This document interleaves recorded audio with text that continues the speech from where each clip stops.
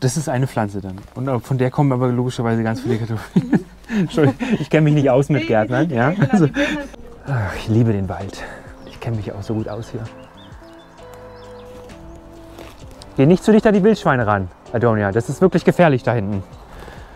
Oh, guck mal, guck mal. Da ist ein kleiner Helfer der Natur. Du weißt, dass es hochgiftig ist. Ne? Also hier werden die Tiere auch gefüttert, damit man sie beobachten und leichter abschießen kann.